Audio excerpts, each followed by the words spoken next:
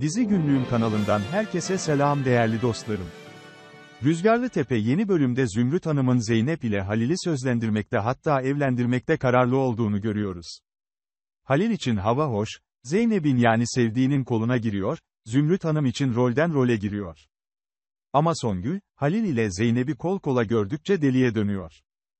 Öncelikle rüya gibi bir fragmandı gerçekten keşke gerçek olsa diyorsanız ve ayrıca Zümrüt Hanım'ın nerede görülmüş bir damadın kendisine kız istediği dediği yerde koptum, bir de Zeynep'i kendisinden Halil'e isteyen kişinin Songül olmasını isterse mükemmel olur, Songül çatlasın dursun diyorsanız, videomuzu beğenin hep birlikte sayımızı göstermiş olalım arkadaşlar.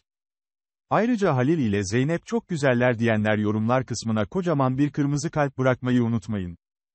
Rüzgarlı Tepe yeni bölümde Zümrüt Hanım'ın zorla Halil ile Zeynep'i evlendirmeye kalktığını görüyoruz.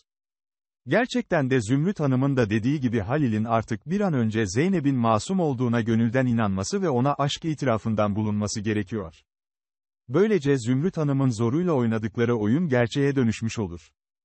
Halil, Zeynep'in babaannesinin söylediği sevdayı erteleyen hayatı erteler sözünü dikkate alacak ve Zeynep'e olan aşkını itiraf etmek için daha fazla beklemek istemeyecektir.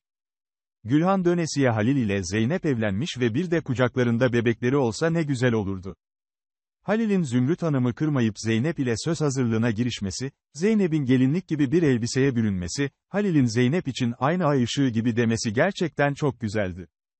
Zeynep ve Halil açısından her şey Zümrüt Hanım'ın istediği gibi ilerlerken, Songül cadısı ise Halil ile Zeynep'in rol icabı da olsa sözlenmelerine asla izin vermeyeceğini söylüyor.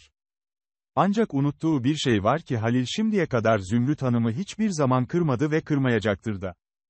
Umarım Zümrüt Hanım, Halil'den Zeynep'i kendisinden isteyen kişinin Songül olmasını ister de, Songül neye izin verip neye izin vermeyeceğine kimin karar verdiğini anlar.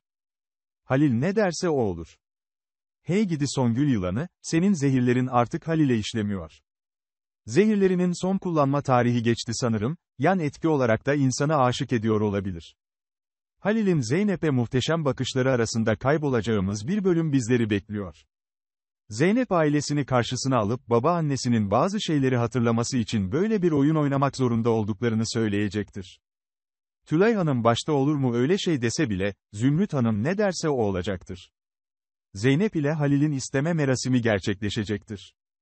Zümrüt Hanım'ın, Halil'e Zeynep çok güzel olmuş değil mi diye sorması ve Halil'in çok güzel, aynı ay ışığı gibi demesi ise muhteşem bir detaydı.